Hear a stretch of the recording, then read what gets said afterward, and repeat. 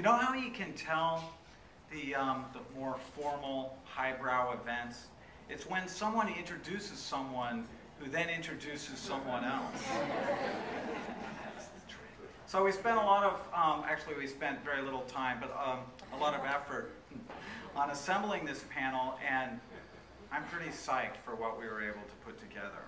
So it started with this germ of what is the relationship between readers and their characters, and then, of course, what's the relationship between writers and their characters.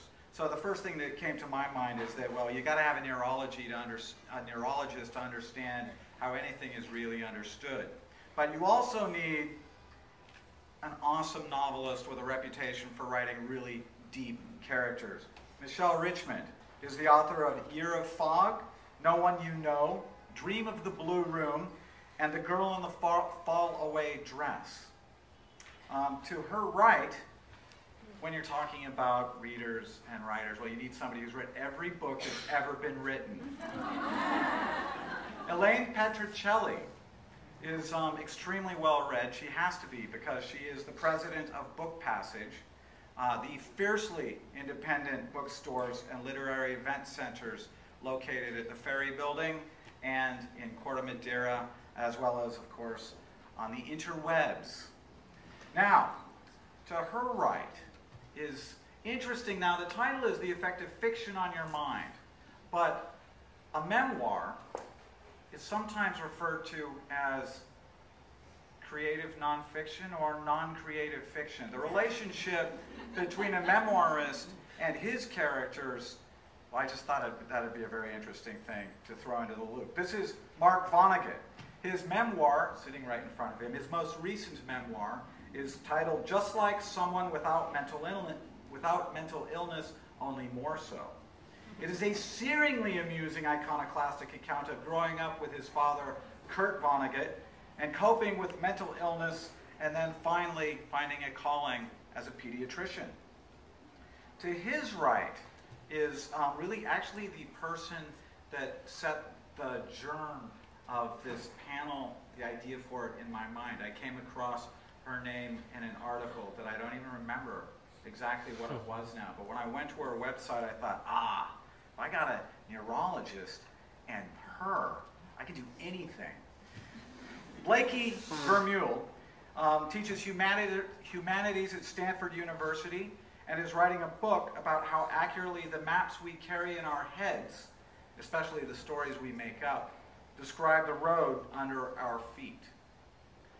Finally, serving as both moderator and chair of the panel is Robert Burton, he is the former chief of neurology at Mount Zion UCSF Hospital. He's the author of Doc in the Box, Cellmates, and On Being Certain. His next book is titled The Involuntary Self, and it explores how our brain generates our sense of self. Dr. Robert Burton.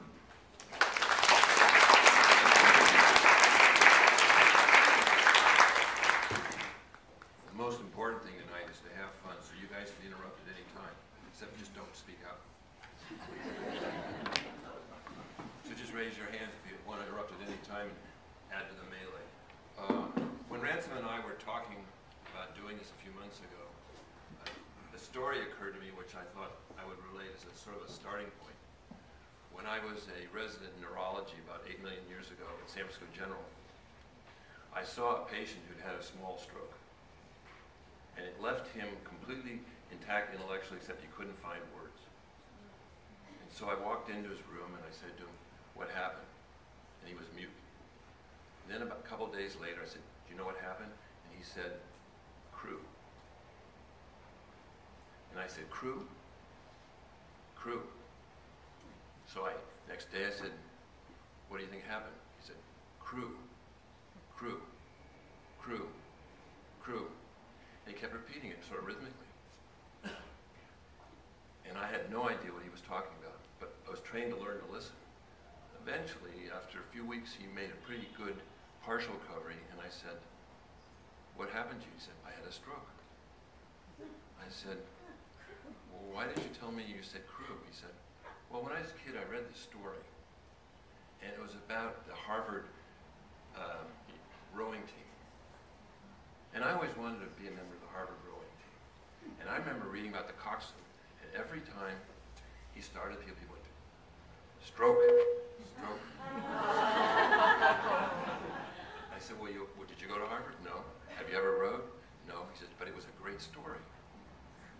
And I thought to myself, that's really fantastic. He had a self-image that included a story he had read as a kid.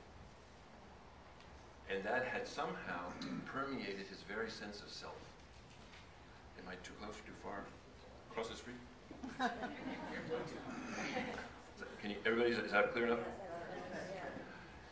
And what I realized at that time, we didn't have any concept of what they now call maps of the self, or how things are represented in the brain. This is a long time ago. And I just realized that we had little nuggets. It was more like what how Proust might have seen an image from drawn from multiple sources, smell, taste, whatever.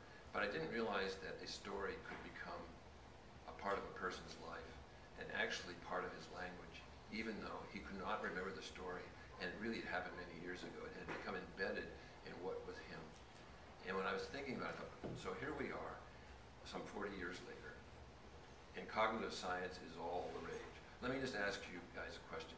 How many people here have read in the last month a novel or a short story? How many have read an article that included an fMRI scan? How many have read a study in psychology in general in the last month? And I think what's happened is we're seeing an overlap where that, that neuroscience has sort of crept up on modern day concepts of what a story is even because a lot of the neuroscience is itself a story. Uh, the stories are being told by some 40,000 neuroscientists who in some ways are as close to fiction writers as a mo- memoirist is. They're telling their version of what they see of as reality. And yet we really don't have a clear handle on what the self is, what the mind is, etc. Nevertheless, it is stories that make us tick. So I thought what we would explore, at least today, would be have everybody give a little speech on what they think is the present day concept of a story in view of how psychology is affecting us, and how the story affects them personally. I think I'd like to ask each panelist to start with, and, and let me just say this, I've read each person's works, and I know Elaine for a zillion years, and she knows more stories than I'll ever remember. So, and each person in his own way has tried to understand the relationship of how the mind and the story affect themselves personally, how they affect the story in, in the interrelationship between how your psyche, which they don't use that word anymore, your personal behavior affects your story, and